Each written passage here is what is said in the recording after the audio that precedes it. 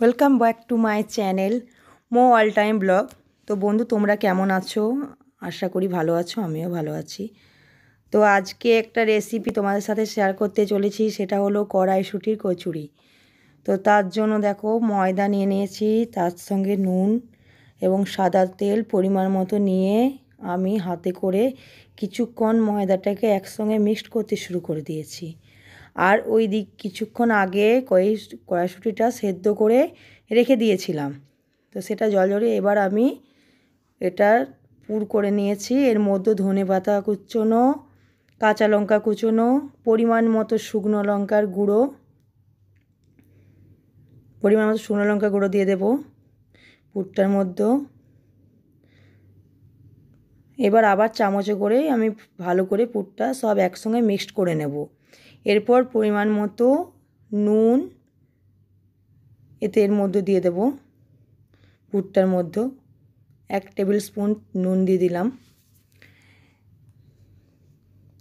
হলুদ দিয়ে দিলাম এক টেবিল স্পুন। এবার আরেকবার ভালো করে সব একসাথে মিক্সড করে নেব পুরটা।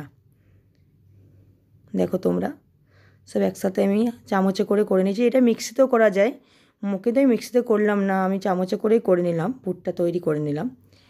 এইবার আমি কড়াইয়ের মধ্যে পুরটা তেল দিয়েছিলাম, তেল দিয়ে কাঁচা শুকনো লঙ্কা কুচনো দিয়ে পুরটা দিয়ে ফেলেছিলাম। দিয়ে এবার নাড়তে শুরু করেছিলাম। একটু চিনি দিতে হবে, পরিমাণ মতো একটু চিনি দিতে হবে এর মধ্যে। পুরটা আমার হয়ে এসেছে।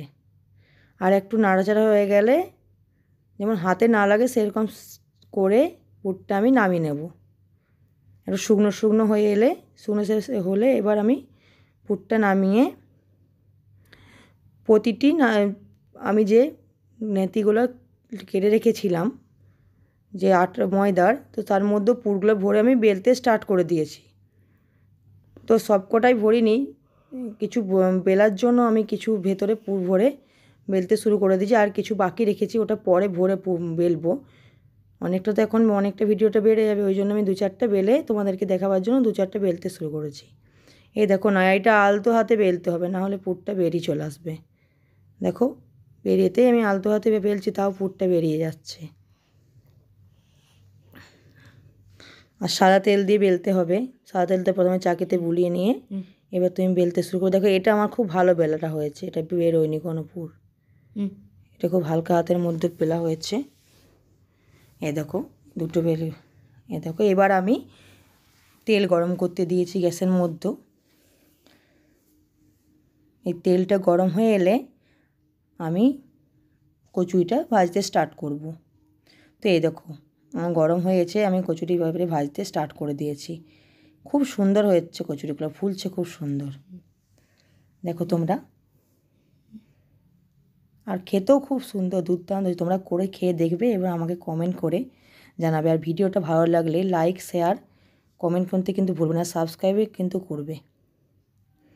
এ দেখো এ দেখো আমার পুরো তৈরি রেসিপিটা দেখে নাও, আজকে আমার রেসিপি কচুরি, আলুর দম আর কালাকন্দ তো বন্ধুরা, আমি আর ভিডিওটা অনেকটা বড়ই হয়ে গেল, আর বড় করব না। Tata, bye, good night. সবাই ভালো থেকো।